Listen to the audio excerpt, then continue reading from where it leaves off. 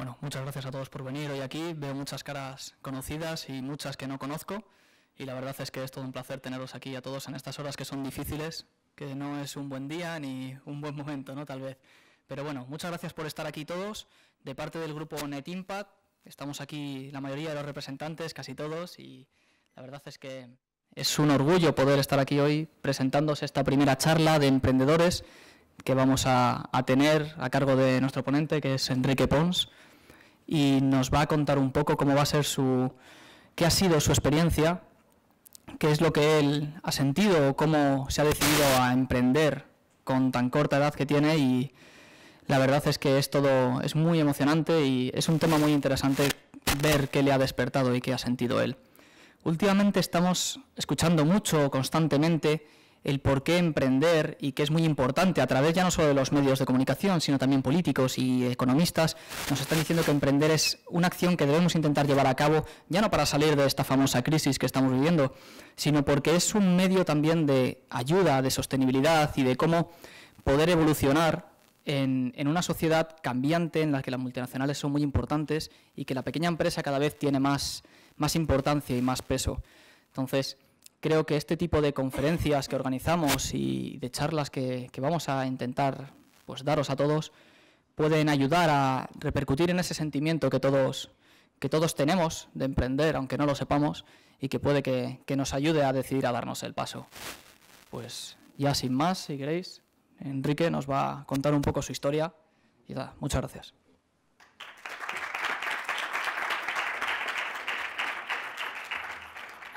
Eh, bueno, lo primero me gustaría comenzar eh, agradeciendo tanto a LEOI como a Net Impact eh, por, impulsar este tipo de iniciativas que nos ponen en contacto un poco pues, a la gente del sector, no solo a gente interesada en lo que es emprender, sino bueno, pues, veo aquí caras jóvenes, probablemente de, cercanas a mi edad, gente que, bueno, que quizá le pueda interesar el tema este de, de lo que es emprender, por qué se emprende, etcétera, etcétera y personalmente Álvaro, porque realmente bueno, ha sido un placer preparar esta sesión, eh, con la que bueno, intentamos fomentar un poco, como bien ha dicho él, qué es emprender y, por qué, qué se siente al emprender, o desde, desde, bueno, desde un punto de vista muy personal, que es el mío.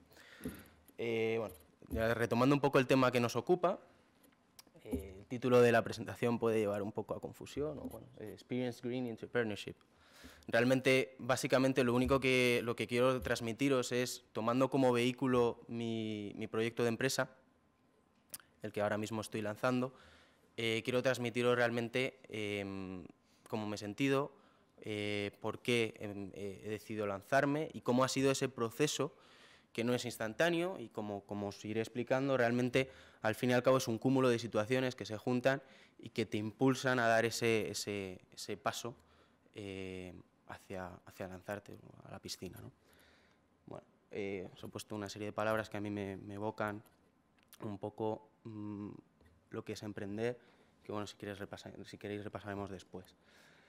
Me gustaría comenzar un poco eh, presentándome, dando un poco a conocer para que, para que tengáis en cuenta mi perfil. Me llamo Enrique Pons Martínez, como me ha dicho Álvaro, eh, tengo 23 años, soy recién licenciado en Administración y Dirección de Empresas, Mm, soy bueno, eh, de la promoción del 2011, con lo cual, si a grosso modo, si echáis cuentas, eh, llevo en este mundo prácticamente cinco o seis meses, con lo cual mi experiencia dentro del mundo del, emprendimiento a nivel profesional no es muy larga. Eh, experiencia laboral, os quería comentar un par de, un par de experiencias que tienen mucha vinculación y que, a las que bueno, volveré a lo largo de la presentación y del proceso que tiene mucho que ver con, el por qué me lancé realmente a, emprender. ¿no? La primera eh, es un periodo de prácticas eh, en, Hilo, Perú. Es una, bueno, es una región muy pequeña de, de, Perú y allí realmente lo que hicimos fue unas prácticas humanitarias durante tres meses en las que eh, intentamos a través de nuestros conocimientos, cada uno en su campo, fuimos un equipo multidisciplinar, fueron desde psicólogos, ingenieros, eh, economistas, eh, gente de empresa, y lo que intentamos fomentar fue un poco el desarrollo. Eh, más concretamente, mi proyecto trataba de em, conseguir explotar al máximo una serie de microcréditos que dábamos a unos eh, a, gente, de pequeña y mediana empresa, de tal, de tal manera que no solo tuviesen un crédito de una cantidad que la verdad es que realmente era pequeña, sino eh, que, bueno, que lo supiesen explotar al máximo y darles un poco de seguimiento, un poco de unos conceptos básicos de empresa. Eh, principalmente os quería, os quería comentar que eh, en el ámbito profesional me llevé bastantes, bastantes experiencias personales, pero desde el trasfondo personal sí que fue lo que realmente a mí me, a mí, a mí me llenó.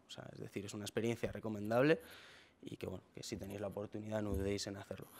Eh, otra, otra, bueno, de las de parte de la experiencia laboral que, os quería comentar fueron unas prácticas en un departamento de, de, una multinacional de seguros, el departamento financiero, aunque bueno, si alguno habéis sido becario, pues sabréis que al fin y al cabo acabas tocando todas las áreas y colaborando en lo que realmente puedes eh, aportar.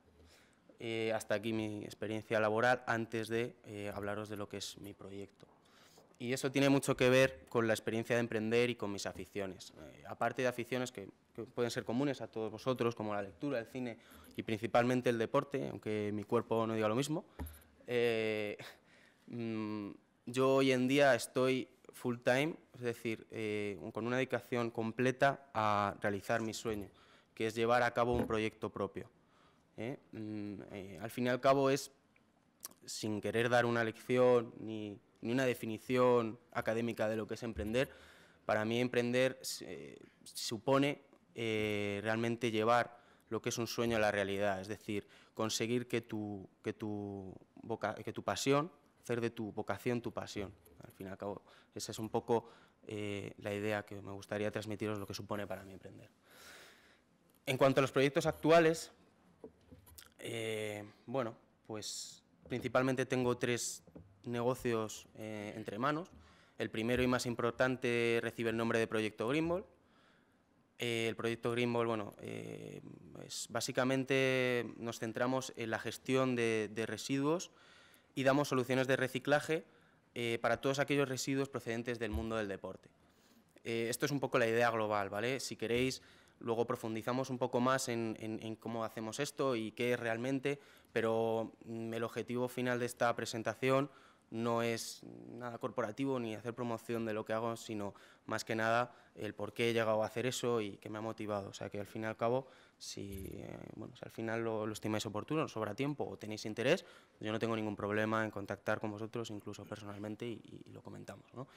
Eh, otro de los proyectos que llevamos es, eh, estamos estudiando ahora mismo, este, este, primer proyecto está en fase de lanzamiento, ya lo, estamos, lo estamos llevando a cabo. Otro de los, de los proyectos que, mm, que, estamos impulsando ahora eh, tiene mucho que ver con la moda y es eh, en la línea de la sostenibilidad, que supongo que habréis intuido en, en, en, el proyecto Greenball, es eh, básicamente intentamos generar unas, unas, líneas de producto de joyas de, de alto diseño a través de un, de un, material básico que es el PET, bueno, con diferentes capas de, y con diferentes tecnologías, bueno, conseguimos llegar a que una joya que, tenga pues un tamaño considerable, pues gracias a las características del PET, pues no tenga, eh, aparte de ser, evidentemente, de, ser respetuoso con el medio ambiente, eh, tiene un peso y unas características muy diferentes a los de una joya tradicional. ¿no? Y entonces es otro concepto diferente que ahora bueno, pues está muy de moda, eh, por así decirlo, que es el eco-fashion. Y otra de las cosas que llegó a mis manos, así casi sin pensarlo, porque realmente mm, proyectos míos, míos, míos, solo es el primero que os he hablado, estos han ido llegando a través de, estos meses, fue, eh, me puse en contacto con una de las personas con, las que mm, eh, interactué en Perú, bueno, que, que, que, ayudé, y me ofreció la posibilidad de realmente traer aquí, importar productos artesanales de Perú. Lo estamos estudiando, estamos viendo pues, qué cartera de productos, todavía no sabemos a qué mercado nos podemos dirigir, ni, ni cómo es el método de venta más adecuado, ni nada, pero bueno, es otro de los proyectos que tenemos entre manos y que cuando sacamos tiempo, pues, pues, pues lo vamos desarrollando. ¿no? Vale. Eh, en cuanto a perfiles de, emprendedores de éxito, aquí os he puesto fotos de personas a las que como emprendedor admiro, eh, como, bueno, pues principalmente por estas tres características que creo que los, los definen rápidamente, son la innovación, la excelencia y el vanguardismo. Todos eh, al fin y al cabo, bueno, pues, pues han sido ejemplo de, de, esto que os estoy comentando, han sido eh, pues, realmente innovadores en su época y han revolucionado, por así decirlo, el sector al, cual iban dirigidos.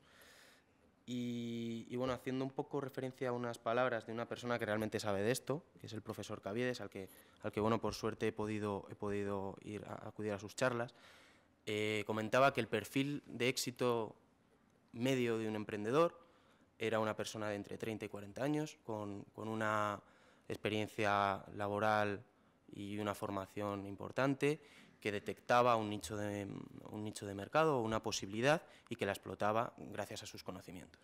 Entonces, en base a todo esto que os he comentado, eh, muchos de vosotros probablemente os preguntéis, bueno, ¿y este tío qué hace aquí? Porque si realmente es una persona joven, sin, sin experiencia, como nos, ha, como nos ha explicado, y no, y, bueno, su empresa no gana millones, no factura millones de euros como Microsoft, Sony o, Ford, pues ¿qué hace aquí eh, eh, Enrique? Bueno, pues simplemente vengo, a través de mi experiencia, vengo a daros ni consejos ni una clase magistral, porque creo que simplemente metiéndolos en Internet podéis encontrar muchísima más información y mucho más válida de la que yo os puedo aportar a partir de, lo que es emprender con éxito. Pero sí que vengo a contaros mi historia, a contaros... Mis motivaciones, mis sentimientos, el por qué yo realmente he acabado emprendiendo. ¿Vale?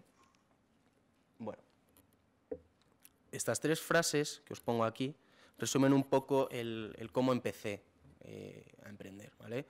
Em, resumiría al fin y al cabo seis meses de mi vida, que son los últimos, en el último año de carrera, eh, empecé pues, a plantearme, esta frase resumiría los dos o tres primeros meses de ese, de ese, primer semestre de, último de carrera. Y es, eh, esto va más en serio de lo que yo pensaba. Con esto me quiero referir a que em, cuando tú terminas y te planteas profesionalmente tu vida a un, futuro próximo y, y ves que realmente llega ese precipicio en el cual dices, ostras, o sea, es que después de un primero hay un segundo, después de un segundo hay un tercero, pero después de un quinto no hay un sexto, es la nada absoluta, ves un túnel y, no ves la luz, y al fin y al cabo, o sea, eh, dices, bueno, eh, esto es un caos, voy a tener que tomar una decisión, a tu alrededor empieza una, serie de, pues eso, de caos generado por esta incertidumbre, y, empiezas a escuchar, eh, empiezan a cambiar los comentarios de, pasillo que tú diariamente tienes, que pueden ser pues, desde eh, palabras como examen, eh, prácticas, trabajo, profesor, a de repente escuchar palabras que te suenan ajenas, como pueden ser proceso de selección, carta de motivación o entrevistas. realmente es una situación nueva y, y, te empiezas a dar cuenta que realmente bueno, pues tú tienes que tomar una decisión que va a marcar en gran parte pues, el resto de tu vida. Puede ser acertada o no, pero eh, tienes que tomarla a un futuro medianamente próximo. Eh, bueno, como soy prácticamente, me considero medianamente alumno, eh, no, y muchos de aquí, vosotros también lo sois, por lo que veo, no sonará nada nuevo lo de que el alumno deja todo para el último día. Con lo cual, esta decisión, la de, cuando, cuando empecé a, tomarme a tomar en consideración la repercusión que tenía para mí tomar esta decisión, pues lo dejé un poco para el último día y me fui a jugar al pádel con mis amigos, o al tenis, un sábado por la mañana. Y entonces ahí surge la segunda pregunta que, que hace la segunda frase, la segunda frase que, que ahí bueno, pues hago, os hago referencia, y es, ¿qué se hará con estas pelotas de tenis viejas? Estamos, no sé vosotros, yo juego a un nivel muy, muy amateur y con, con un grupo de amigos y, y, siempre vamos con las mismas bolas. Hasta que se pierden o alguien decide comprar otras por iniciativa propia. Entonces, a partir de ahí surge en mí una inquietud en la que me pregunto, oye, eh, realmente, pues, por ejemplo, por los móviles, pues la gente se está pegando por, por, y te están dando dinero por algo que ya no vale. Hay aquí un negocio. Eh, puede, ser que esta idea sea rentable desde un punto de vista económico. Y es aquí en el momento en el que a partir de una inquietud surge una idea eh, y que genera en mí un, mar de, un mar de dudas. Básicamente este es el proceso.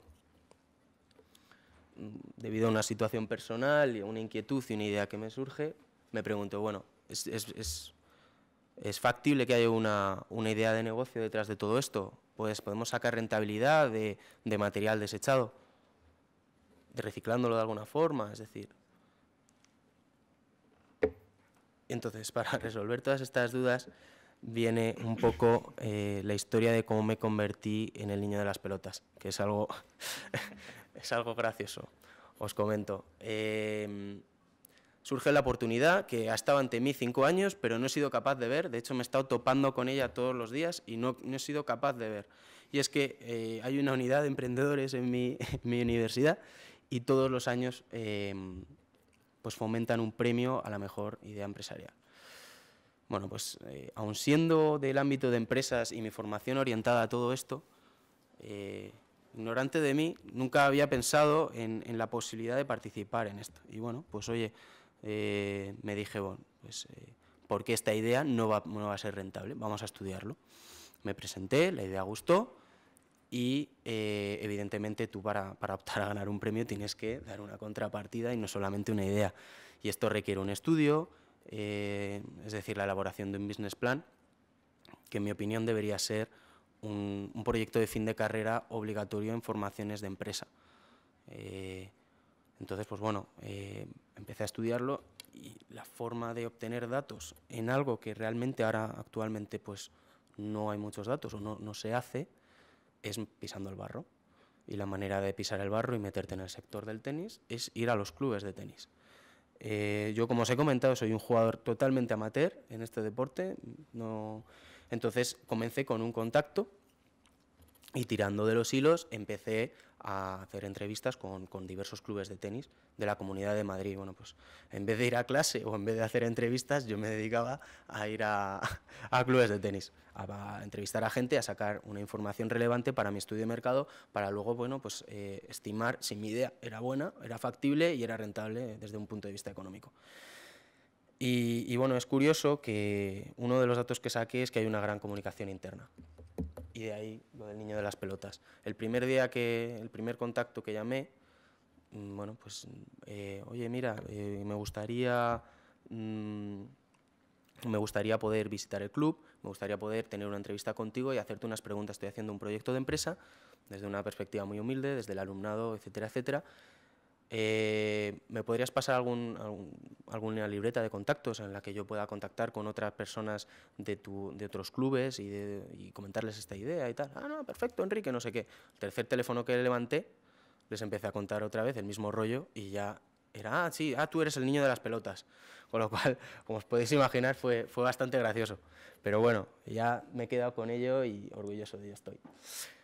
Eh, siguiendo este proceso de estudio, bueno, pues eh, iban pasando los meses y yo iba viendo los resultados que realmente tenía mi, trabajo en ese momento, que era hacer, o sea, no, era más bien el qué de, la idea, sino ya empezaba a ser el cómo, es decir, la estrategia de empresa, eh, un plan de marketing elaborado, eh, es decir, cómo puedo hacer yo vendible todo esto, ¿vale? Mm, a través de un, plan, de, un plan, de un business plan muy trabajado, eh, a la conclusión de que, oye, puedo plantearme, o sea, puede ser factible y puede tener sentido montar una empresa a través de esta, de esta idea que surge de la manera más anecdótica. Entonces, pues, eh, esta opción diferente que os planteo, que es la de emprender, porque yo no sé si vosotros conocéis muchos emprendedores o no, para mí era un mundo completamente ajeno. De hecho, compañeros de, carrera conozco a, uno o a dos que estén metidos en temas de emprendimiento, con lo cual, en principio, cuando remontándonos a aquellos meses y haciendo un poco referencia a aquella frase de, bueno, ¿qué va a ser de mí estos, este, cuando acabe el curso y tal?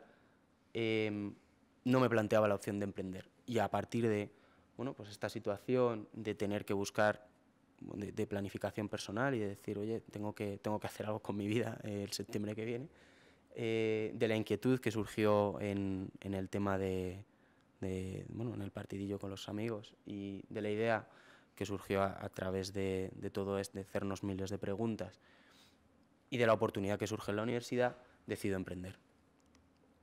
¿Vale?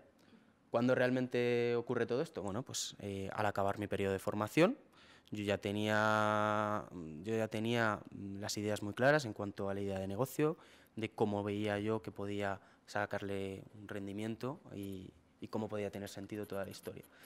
Eh, bueno, en cuanto a la situación personal, pues ya, ya, la, conocéis. La situación laboral, pues tampoco os quiero os comentaré mucho porque bueno, todos conocemos que la situación actual laboral pues, pues es un poco complicada o menos mejor que en otros momentos.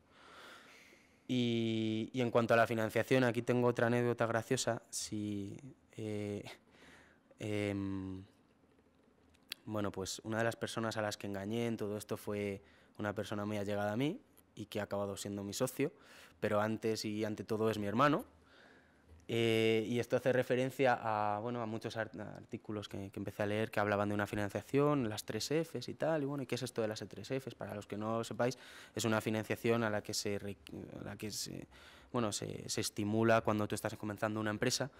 Y las tres, las tres Fs hacen referencia a Family, Friends and Fools, que vendría a ser tu entorno más cercano, es decir, pues tu familia, tus amigos y aquellos taraos como tú que piensan que, que puedes llevar a cabo eh, una idea por ti mismo. ¿no? Entonces, pues bueno, eh, en, todo este, en toda esta aventura yo estoy mano a mano con mi hermano, valga la redundancia, y, nada, ahí nos empezamos. Entonces, bueno, ahí ya empieza lo realmente bueno, cuando ya te levantas y dices, bueno, venga, voy a montar una empresa. Pero no es todo tan fácil. O sea, es decir, lo primero que, te comentan tus amigos, tu entorno, es, oye, qué, pues esto, oye, qué guay, tú eres tu propio jefe y trabajas en pijama, trabajas desde tu casa, eres el dueño de tu tiempo. Pero bueno, o sea, esto es cierto, ¿vale? Pero hasta cierto punto eh, no es tan guay como parece. Es decir, eh, no es tan, o sea, hay que saber sobre, es un arma de doble filo el tema de saber gestionar tu tiempo y eh, el hecho de depender de ti mismo y de tus capacidades y de tu, de tu, de tu formación y de tu destreza para llevar a, al cabo un proyecto con éxito, eh, pues hace que, bueno, que esta frase sea graciosa y que tengas pero que no sea, o sea, que es decir, con cuidado, o sea, no, no el primer día que te levantes vas a, vas a empezar a, a facturar millones de euros, a no ser que seas un fuera de serie. Entonces, pues bueno, quería transmitiros un poco em, cuál ha sido mi, progresión dentro de todo esto. Al principio, pues fue pues eso, la idea de oh, un poco lo, que os he transmitido de, de, que guay, pues mira, trabajo desde mi casa, tengo mi ordenador y tal. Pero bueno, yo creo que no es recomendable trabajar desde casa porque mm, realmente unir en el mismo sitio físico donde duermes, donde comes y donde trabajas, acaba siendo contraproducente. Entonces, yo creo que es eh, a través de, de, plataformas de emprendedores y, una cosa que sí que os recomiendo, que es leer, leer y, leer muchísimo acerca de los temas que estéis interesados, eh, podéis llegar a, plataformas que, os, que os, apoyen institucionalmente porque realmente eh, las hay. ¿vale? Ahora os comentaré un poco más este tema pero sí que en este primer tiempo tienes que aprender a, convivir con, un sentimiento que por lo menos en mí ha sido muy intenso, y es decir, eh, es la teoría esta que, también remite a mi hermano. O sea, un día me dijo, oye, Enrique, es que hay ideas, macho, que, te salen las cosas, que todo va perfecto, que, bueno, que firmas cualquier historia o que mm, ves la orientación muy clara, y entonces todo, todo, todo va perfecto, parece que, vamos a lanzarnos ya con un éxito tremendo, pero hay otros días en el que algo no sale bien y, me da la sensación de que tienes ganas de dejarlo. ¿no? Entonces, esto sí que es un sentimiento propio que sí que os puedo transmitir que he tenido que aprender a convivir con él. ¿vale? O sea, eh, al fin y al cabo es como un, un roller coaster y tú lo que tienes que intentar es las subidas y las bajadas, intentar hacerlas lo más rectas posibles, lo más llevadero posible todo esto, ¿vale?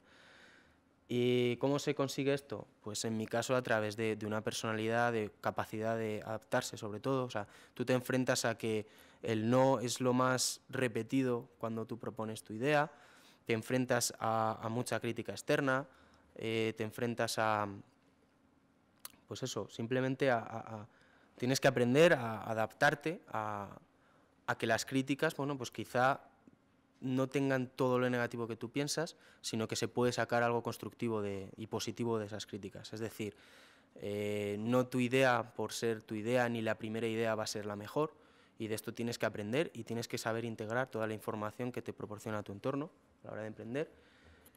Y, bueno, es un poco cómo, solventar este sentimiento, ¿no? Bueno, pues un no, ¿vale? Es un no, pero, pero se trata de que en algún día se convierta en un sí, ¿vale? Y que las puertas que en principio estén cerradas, pues lleguen a abrirse. Vale. Esto es otro sentimiento que intento, otras emociones que, que intento transmitiros, es decir, tú cuando, cuando, cuando realmente te sientas y te pones a... no tienes ningún conocimiento práctico de cómo funciona todo este tema de emprender. Es decir, hay muchos campos en una empresa en los que tú no controlas. De hecho, yo creo que eh, uno de, las, de los principales mm, apoyos que he tenido ha sido mi hermano, dado su perfil. Yo no tengo un perfil técnico. Y, la empresa que estamos intentando, o sea, el proyecto que estamos llevando a cabo, tiene gran parte de desarrollo tecnológico. Y yo en esos campos me pierdo completamente. Entonces, aquí los equipos multidisciplinares, saber preguntar, saber dónde preguntar, eh, es muy importante. Em, al fin y al cabo, con la gente desinteresada tú te encuentras con esta respuesta. ¿Eh? A mí que me cuentas, el, emprendedor eres tú. O sea, es tu idea, te has lanzado tú, allá tú con lo que hagas con tu vida y con tu proyecto.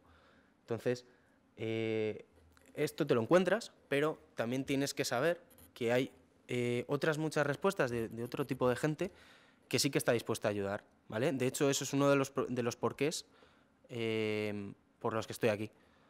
Porque yo creo que fomentar un poco este clima de, pues de apoyarse gente que está, se encuentra en situación parecida o que está interesada simplemente en el tema, me parece básico, sobre todo a la hora de empezar. A mí me, me ayuda un montón pues meterme en foros de, de todo startup, leerme emprendedores, mm, meterme en concursos y en aceleradoras de negocio, como, que sé, pues hay un montón, tenéis Seed Rocket, Juice, Tetuan Valley, tenéis un montón de, plataformas que apoyan y que, y que de incubadoras de negocio que, fomentan y que te impulsan, te asesoran eh, en todos los campos. O sea que, que, que sí, te encuentras esto, pero ante esto tienes que saber que hay más opciones. Y al fin y al cabo, bueno, pues ese es uno de los motivos por los que estamos aquí intentando eh, atraer un poco este mundo y hacerlo más conocido a la gente que quiera empezar, ¿no? Y, bueno, esto resume un poco cómo, cómo, estoy ahora, ¿vale? Son unos meses duros, porque, porque bueno, eh, empezar algo, ya os digo que también tiene mucho que ver con, con I +D, pues es complicado, ¿vale? El proyecto es, es, es un proyecto con una ideología potente, cimentado en unas bases que yo las veo muy sólidas y que por eso he, apostado, he decidido apostar por ello, pero que requiere su tiempo, ¿vale? Entonces no es un resultado instantáneo, no puedes esperar un resultado instantáneo. Con lo cual, ante todo esto, una frase muy paternal, que es la de hay que seguir, aprieta los dientes, cierra los ojos y tira para adelante.